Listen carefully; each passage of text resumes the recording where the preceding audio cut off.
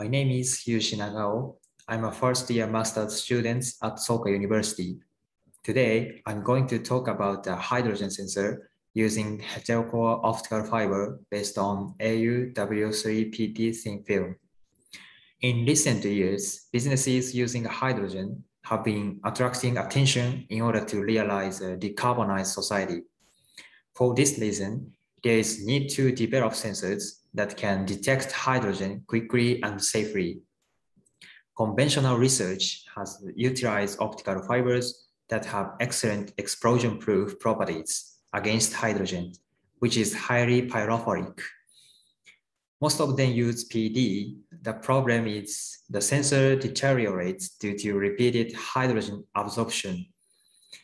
It is known that WO3 is a material that can undergo repeated redox reactions with hydrogen and oxygen, as shown in these two equations.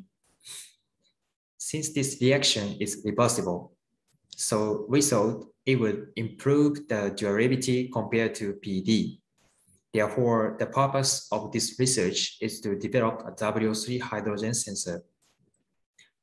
The principle of the proposed sensor is based on an optical phenomenon called SPR. It means surface plasmon resonance. In order to utilize SPR, we employ the heterocore structure fiber. The fiber is made of two different core diameters by fusion splicing. Optical fiber has a high degree of robustness. They are less susceptible to EMI and a high explosion proof. The experimental configuration and the condition are shown in this figure. In order to evaluate the proposed sensor, we conducted two kinds of experiments. One is whether it responds to hydrogen, and the other is whether it is reproducible as a sensor. The results are shown in the following figure.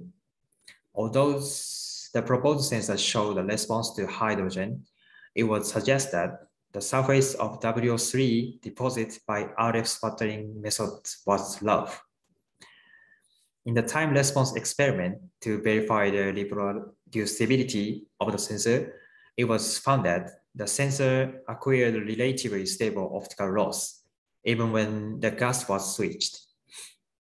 But it was also found that the time for WO3 to react with hydrogen and oxygen was insufficient at 1080 seconds. There are two things we have learned through these experiments. The first is the useful wavelength band can be controlled by the thickness of WO3 thin film. And the second is that the proposed sensor is reproducible as a hydrogen sensor. So that's all. I will introduce the detail later. Thank you very much for your attention, and I look forward to working with you today.